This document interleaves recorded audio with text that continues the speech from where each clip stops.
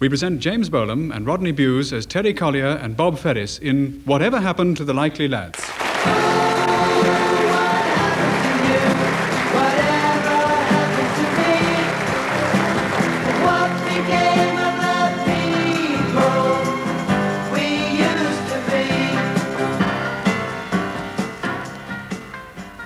That's your 16th cup of tea. They don't give the 4.30 result at Wetherby in here. Fresh pot every time. All right, Doc Park. I thought this was an evening paper. Oh, don't put your cigarette stumps in the saucer. Oh, come on, ma'am. I'm not having tea at the Dorchester. Huh, They never let you near the Dorchester. They never let you near their coal cellars. What do you mean? Well, look at yourself, son. You haven't shaved. Your hair's not been near a comb. The dustman comes today, so don't linger around the front door. We'll never... I am just casual. You're not casual, Terry. You're slovenly. What if anybody called? Well, that's all right. I'm in, aren't I? Have you got nothing better to do with your time? Mother, I have been in the army for seven years, serving my country, so that people like you can sleep safely in their beds at night, so that this country can be a place to bring up kids decent. I would have thought the army would have taught you pride in your appearance. What you see here is a reaction, if you like, to the, the years of hardship and discipline and danger. I'm entitled to take it easy. All I want to do now is catch up on some reading and reflect on life. Now, the only reading you caught up on is back numbers of the Football Monthly and those glossy magazines with nudo pair girls on the front. You're turning into a young Andy Capp. I've had a very active day, physically and mentally. I walked all the way to the Black Horse. I came back and fought the flab with Terry Wogan. It's been a very intellectual afternoon on the box. I watched gliding in the Dolomites, building a dam in Syria, and intermediate Spanish, much as gracias. It's amazing what you can learn on these school programs, you know. If you hadn't gone round to the laundrette, you'd have seen the metamorphosis of the frog. Well, I had to do all your clothes, didn't I? Biologically. Now, who's that? Oh, it's only me. Can I come through? Hello, all. Just on my way back from work. And how's our working class hero? Oh, doesn't he look a sight? I've just been telling him. Now, look at Bob. Look at his lovely suit. Look at his hair. He's well groomed. That's what Bob is, well groomed. Ah, they're a bit tight, them trousers, aren't they? Any sudden movement, mate, and you'll be back in the choir singing soprano. Now, that was coarse and unnecessary. You're not bringing your barrack room behaviour into this house. Would you like a cup of tea, Bob? If it's no trouble. Well, I've made 16 today already, Pet. One more won't make any difference. You want to get your thinking cap on, my lad. There's more to life than football and you don't care, girls. Nudo pair goes what, when, where? Sorry, kid, you've just missed them. Here you do look in a right state. Have you been in that chair all day? Well, look, don't you start. I deserve a break. I've been catching up, reading and learning. I didn't know Frank Sinatra had married Mia Farrow. Mia Farrow? How old is that magazine? That was over ages ago. She's married to Andre Previn now. They've got twins. Married who? Andre Previn, you know, he's a conductor. All right. What route's he on?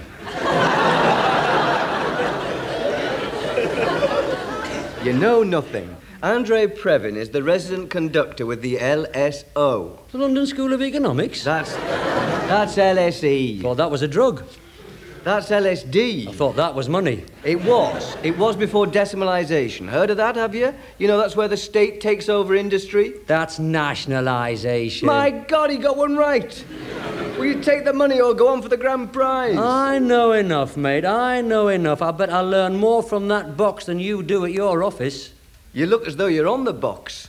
You look like some social misfit being interviewed for Panorama. Eh, just look at your hair and your vest. Slumped in that chair surrounded by racing editions. You're like a premature Andy Capp. You're the second person who said that, and I love Andy Capp. I'm proud of my home and my class. Just because you're flirting with the lower, lower, middle, middle, just because you've got an office job and your fiancée lives on a Tudor estate with a monkey tree, I want to get you out of yourself. I want you to meet new people, new faces, friends of mine that you don't know. But how can I? How can I take you into homes looking like that? They wouldn't know how to react. Sherry for you, Bob? And what will your friend here have? Meths? I don't want to go into their homes, thank you very much. I don't want to go into their snooty semis. I don't want to meet your new friends. You'll be stopped going to football soon, you, because Saturday'll be golf. Look, I don't think you appreciate how the whole pattern of social life has changed. It's different now, and I want you to be part of it. I want you to smarten yourself up and come out with me.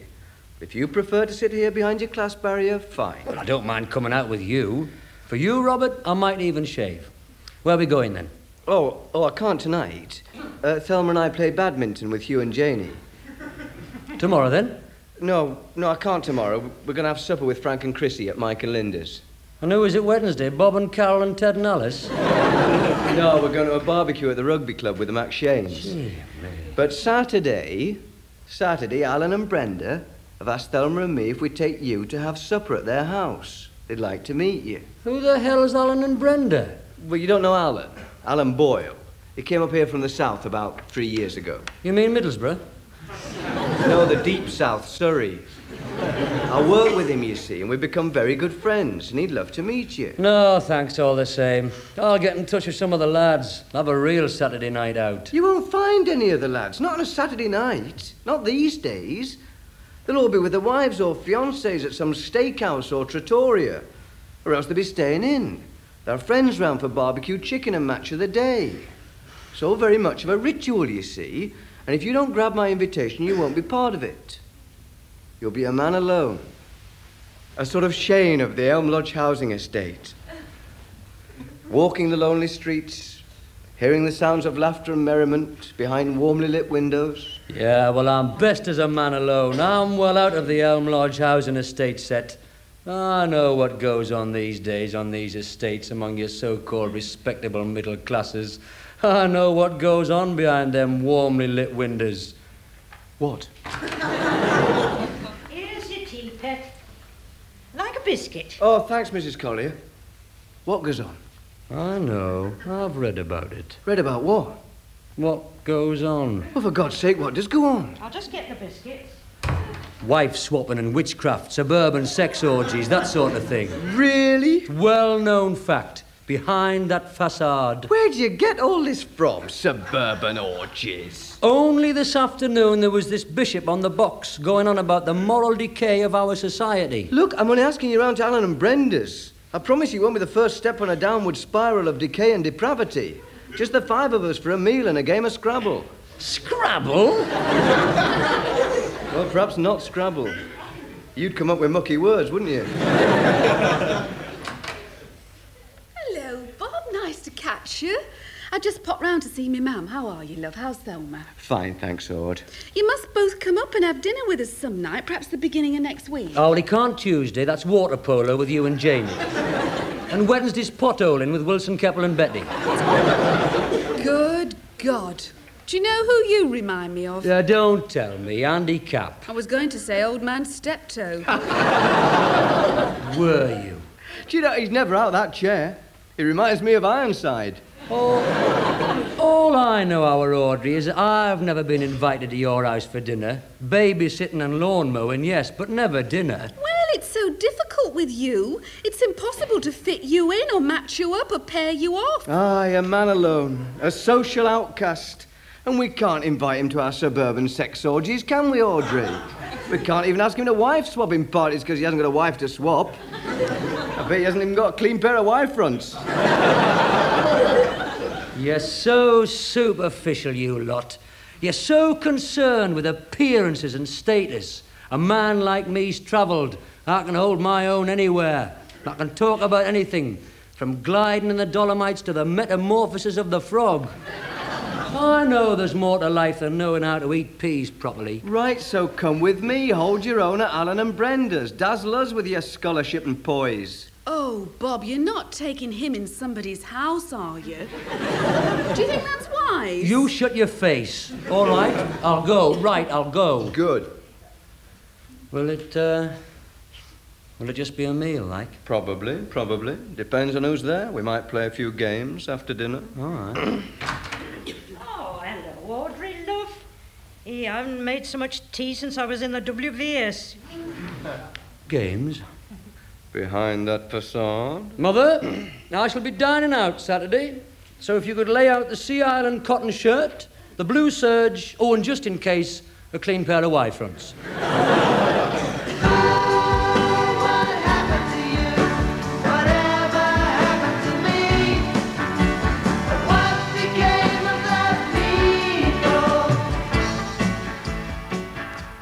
Hello, Bob. Come in. Hello, Thelma, love. You're prompt.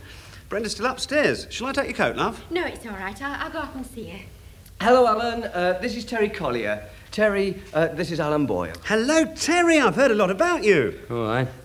How'd you do? Can I get you a drink, Terry? What would you like? Unless you've got any meths, I'll just have a beer, thanks. Afraid you'll have to settle for beer. Bob, Uh, vodka and Coke, ice and lemon. please. Uh, Bob tells me you're from down south, like, uh... London, is it? Oh, just outside. Carshalton Beeches. He's a Chelsea supporter. Oh, is he? yeah, he used to have a season ticket there. I hate Chelsea. They stand for everything I hate in football, with all their show business supporters. They come out looking more like the younger generation than a football team, We'll just go and get some ice. he said icily. Now, what are you being so aggressive for, eh? You hardly crossed the doorstep, you're attacking the bloke's football team. It's not a very nice thing to do. How would you feel if somebody attacked our football team? They deserve it, Chelsea. That's not the point. We're not talking about the merits of Chelsea Football Club, we're talking about manners. You know, like live and let live. Aye, all right, all right. Watch it, he's coming back. Uh, um, listen, Alan, uh, I'm sorry about that. I mean, I don't just hate Chelsea. I mean, I hate Arsenal, West Ham, Crystal Palace just as much. In fact, I hate all London teams. Oh, that's all right, Terry. All the same to me. Come on, girls. You must be glad to be back. I Expect you noticed some changes. Oh, aye, what with decimalisation and Andre Previn conducting the? LSE? S O. Are you interested in classical music then? No, I can't abide it. Alan has a great collection of classical music, especially Beethoven. Oh, oh, oh, well, he's all right. I mean, Beethoven's fine. It's the others I can't stand, but Beethoven's all right. What are you interested in? What? Oh, well, I've got a wide range of leisure activities. He does jigsaws. I do hundreds of things. That's one of the things you got out of the army. I've done more sports in the last few years than you've ever heard of. Football, cricket, swimming, water skiing, pole vaulting. You've never done any pole vaulting? Yes, I have. There was this Polish fella in our hut. We used to tie him to the bed and then vault over him. I think the girls are coming down. You know my wife Brenda, don't you, Terry? Brenda? Brenda? No, I don't think so. Yes, you do, Brenda. I don't know any Brendas. Hello. Oh, that Brenda. Hello, Bob. Hello, Terry. Nice to see you again. Well, if I'd only said your maiden name, I didn't know it was you, Brenda. Well, you're looking very pretty. You've certainly changed. I, I, I mean, you've changed from being pretty to even prettier. Uh, thank you, Terry. You're looking very, uh, well, yourself. Drink, Thelma? Oh, yes, please. Sherry. Did the services do you good? Uh, apart from this leg, yes. What's wrong with your leg? He never talks about it. Oh, dear, does it hurt? Only when making love or pole vaulting.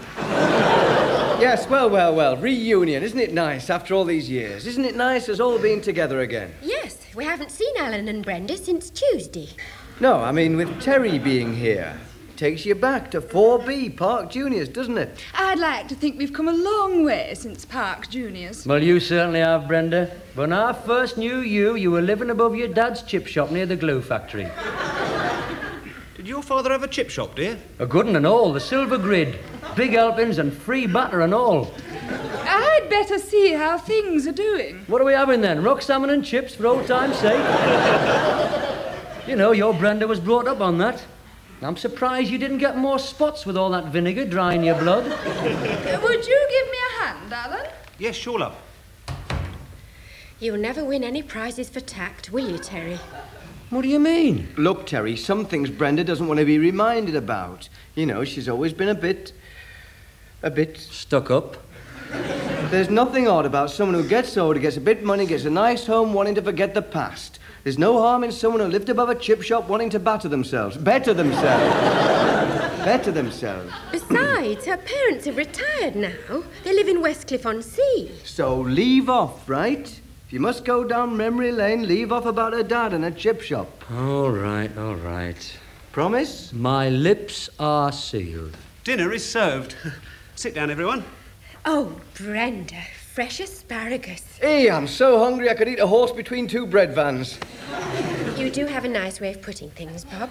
You there, Thelma, Bob there, Terry at the end. Now, I've got red, white, or fizzy rosé. Oh, Thelma prefers white. White all right with you, Terry? Mm-hmm. Do we have a fondue set on our wedding list? We will have tomorrow. Alan's mother bought us this at Harrods. She has an account there, you know. What lovely table mats. So these are new. Oh, hunting scenes. Hmm. I just haven't had them out before. They were a present from Aunt Elsie. Oh, your Auntie Elsie. How is she, Brenda? Is she still a cleaner down the brewery?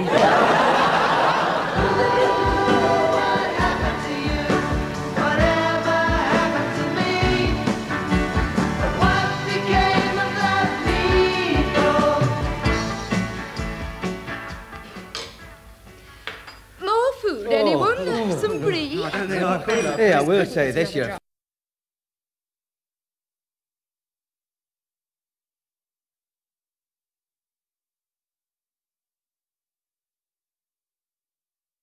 Well, you know, I'm glad we didn't have rock salmon and chips. Oh, I'm sorry, Brenda, but you can't help thinking about the past, you know. Thinking about what used to be. Right, Bob? Die when it makes you think. Here we all are having our sophisticated supper with Tia Marias and wafer thin mints. Last time we all sat down to eat together was school dinners. Oh, I think Brenda's improved on cold ham, peas pudding, and mashed potatoes. That was Thursday ham, fish cakes Friday. Mince Monday. Meat Tuesdays. What sort of meat? We were never quite sure. What was on Uh, Wednesdays? Monday mince, Thursday ham. Monday mince, Tuesday meat. Of course, Wednesdays it was cheese fondue, followed by gooseberry fool and wafer thin mints. I used to like that mashed potato. Oh, aye, me and all, 'cause it was all crumbly. And if you got a big spoonful and flicked it, you could get half a foray. it was like a scatter bomb. Oh, oh, oh, I'm, I'm, I'm sorry, Brenda. I didn't mean to. Um, I'll get a cloth. Uh, No, it's all right, Terry. I'll do it. it, it comes all out all right, does it, uh, Gooseberry Fool? We'll just have to hope so, won't we? Look, There's, there's no panic. He'll come out with a rub. I doubt it. However, so much for Park Juniors. It can be of no interest to Alan. Alan went to a public school. Minor one. It was founded in 1766. So you can imagine how drafty it was. I understood it was a leading public school. it was a leading, minor, drafty public school. Aye, well, happy days. Do you really think so? Oh, of course they were. Smashing days. It's where I met you, Bob, wasn't it? Aye. What was Bob like at school, Thelma? Little terror? I was top at woodwork, a monitor, and secretary of the Lonnie Donegan Appreciation Society. And if I remember rightly, president of the Deirdre Birchwood fan club. Deirdre Birchwood. Uh, who was Deirdre Birchwood? Oh, nice girl. You're ahead of us. Advanced for her age, mind. You know all them questions about sex your parents, the teachers, and the scoutmaster would never answer? Deirdre would. Deirdre Birchwood? She meant nothing to me. Yeah, she did. She was the gardener's daughter. Used to smell a weed killer. He was in love with her. I was not in love with her then. I was in love with little Mo Connolly and Claire Bloom. You used to sneak out at dinner time and meet her in the greenhouse. I remember once he got back into class and a caterpillar fell out of his trousers. I was never aware you'd been out with Deirdre Birchwood. She was a very common girl. I warned him about her. Consorting with a girl like that, think yourself lucky you didn't catch greenfly. Should we move from the table? I won't. I'll just pop upstairs and have a swill. It's the first on the left, lights above your head. Shall we leave the past? I find our days at Park Juniors very irrelevant. We're all different people now. Not necessarily. We're all older and we've all acquired a lot of possessions. Underneath, we're still the same people. If we were all on a desert island, we'd soon revert to type. We'd soon revert to the jungle law of Form 4B. Some quicker than others. Haven't you got any skeletons in the cupboard, love? Haven't you got any dark secrets? Well, I don't suppose it means anything to you now, Brenda, but uh, I did give you my coronation mug. And an autographed picture of Sherpa Tensing. I really can't remember. Oh, it doesn't matter. The autograph was forged anyway. Terry sold it to me. I have some memories that aren't so pleasant. Oh, you mean the boiler room incident? What's this? Do we have to? Well, you were full of it at the time. It was most upsetting. I was attacked by two boys in the pitch dark of the boiler room. If it hadn't been for the janitor, I don't know what would have happened. Hey, Bob, I've just been thinking, what was the name of that girl who seduced you and me in the boiler room? How dare you? Oh, come on, love, it was years Oh, ago. it's monstrous I was attacked. When's this? In the boiler room. So was Bob and me. If it, if it hadn't have been for that janitor, Well, isn't this fun, eh? Happy days. Down memory lane. Part of your reluctance to leave the past, Terry Collier, is that you have very little to look forward to in the future, and your present has little to offer beyond the pub and the billiard hall. Most of us have improved ourselves, developed as people, but you're an embarrassment to your family and an embarrassment to your friends. He doesn't embarrass me. He might be coarse and he might be vulgar. are you with me or against me? Shut up a minute. He might be crude, he might be rough at the edges. And all right, he might have eaten the wrong end of his asparagus. but I'll tell you one thing, I'll tell you one thing. He's down to earth, and he's honest. Well, here's a turn up for the book. The good old days again, those two back in the saddle. I think Bob's right. What? I never thought I'd see the day when you took Terry Collier's side. I like a lively discussion. Terry is honest, and that's something we all seem to have lost since Park Juniors. He's got no pretensions. He would never deny that he lived above a chip shop. I didn't live above a chip shop. What are you trying to infer, Thelma? That I'm a snob? Yes, you are, Brenda. You're an enormous snob. You always have been. What a bitchy thing to say. Well, it's the truth. I like a frank exchange of views. If I was such a snob, why would I invite that into my house for dinner? I'll tell you why you asked, Terry. Because the only way you can measure how far you've come from 23 Doglead Lane is to parade your possessions in front of an audience. I've seen you do it before. When you watch people admiring your fabrics and praising your carpets and envying your fondue set, you, you sit there and you, you bust your bra.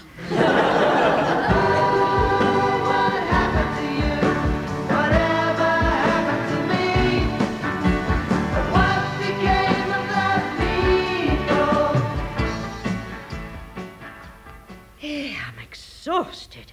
I've walked miles. I couldn't get a bus, then when I did, there was standing room only. Ah, you've had your usual strenuous day, I see. Couldn't you use the one cup and wash it every time? Ah, Saturday night was a mirage, wasn't it? I thought I saw you shaved in a suit, going out to dinner with nice people. But it must have just been a dream. Turned into a nightmare. Have you been in that chair all day again? Oh, I went down to the Black Horse, a couple of bevies and a bet. Dressed like that? Hello, Mrs. Collier. How's Andy Capp? Hello, Bob. If only you'd take an example from Bob, Terry.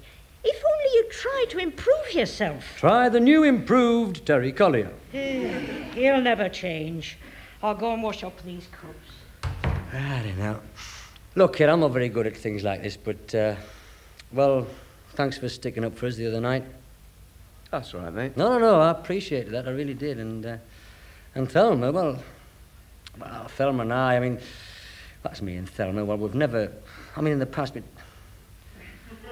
Well, the point is, I thought she was marvellous, and I think you're a lucky lad, and you did the right thing there, and I hope you'll both be very happy, and I'm very sorry I said that about Deirdre Birchwood's caterpillar. Well, I'll tell Thelma she'll be pleased. Is she upset about Saturday night? No, not really. She never could abide Brenda. Ever since I gave him my coronation mug and that autographed Sherpa Tensing photo. I forged that, you know. I know. I remember what was written on it. Cheers, Terry Sherpa Tensing. It'll make a hole in your social calendar, though, but now there'll be no Alan or Brenda on Saturday nights. Still, I suppose you can move Frank and Christine up from Tuesday, or Michael and Linda back from Friday. It does leave a night free for you and me, though, doesn't it? Just the two of us, lads' night out. Oh, I don't know if I could keep up with you, Mr. White Collar. A man in the grey flannel suit. I don't want you to change, mate. You just go on being as, as well as as forthright as you are, and as vulgar and as pig ignorant. I am not pig ignorant. This is my seat of learning, this chair. What I learned from that box, I am at the University of Life. And what have you learned since Saturday, eh? Apart from what a fondue is, and which end of your asparagus to eat. You don't know six useful Spanish phrases, do you? Or how to build a dam in Syria. Or the metamorphosis of the frog. Do you? Certainly. Go on then. What is the metamorphosis of a frog? What? Well, well, it starts out with just dots in the water. Amoebas, they're called. Then, Hang on, hang on, hang on. They're not amoebas. Yes, they are. No, they're not. Amoeba is the most primitive life form. They're so small they're impossible to see. Well, if you can't see them, then how do you know they're not busy turning themselves into frogs? There's no answer to that. Well, go on. What happens then? Well, then you get your frog spawn.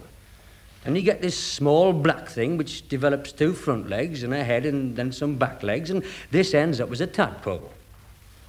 And after the tadpole? Your tadpole becomes your frog. And then? What? And then? Well, then it turns into a butterfly.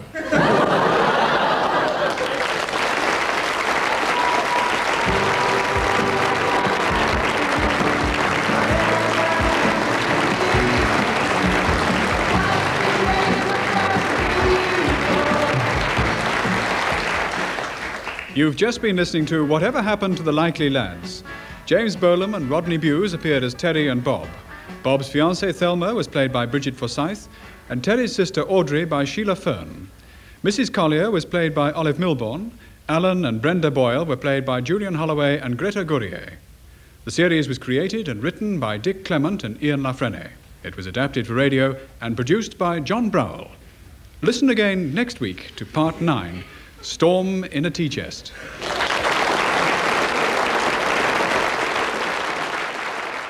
Tomorrow in this classic comedy slot, Wendy Craig and Francis Matthews star in Not in Front of the Children. Loose Ends on BBC Radio 4. Now I'm delighted to welcome to Loose Ends Mavis Staples, whose career in music, first of all gospel and church music, started in the 1950s with her family group, the Staples Singers. In the 1960s, they were an integral part of the civil rights movement, performing alongside Martin Luther King. When your father was alive, that's that's when you first you were sort of I don't want to say a warm up act, but you, you with Martin Luther King, you you would be singing, and then he would be making his speeches. Oh yes, we would sing before he spoke. Yeah. and and we would sing a song that was his favorite of his, of my family's. Why am I treated so bad? Yeah. So we would uh, every time we get ready to go to the meetings, he called my father Stape. He said, Stape. Yeah. You gonna sing my song tonight, right? Pop said, "Oh yeah, doctor, we're gonna sing your song." Through that, I've got to check out the story that, uh, that I'm told that uh, Bob Dylan uh, he proposed to you. He wanted to marry you. He did. Yeah. He proposed. I turned him down. well, well, I have to ask why because I mean, an awful lot of women would have said yes, a lot of men would have said yes, but Oh, he was a cutie. You know, curly, curly hair, Yeah. beautiful blue eyes. But what um, was it? Musical differences or was, no, billing it was, problem? It was, it was youth. Yes. We were too young. I kept telling him, I said, Bobby, we are too young. I said, I'm too young. I said, I can't even cook yet. He said, Mavis, you won't have to cook. And you met Elvis, didn't you? I met Elvis. Yeah, and did he propose? He, no, he didn't promote. Okay. But uh, yeah, I was fortunate to meet a bunch of those guys. David Bowie, you you, you met David? Bowie. Yeah, yes, Bowie. I Yeah, met. David Bowie. Yeah. He came to the dressing room one night to meet me. I was opening for Prince. And, and Oh, okay, uh, all right. Yeah. Well, you mentioned you mentioned Prince. Well, he was quite influential in your that that period of your career when Yes. you, you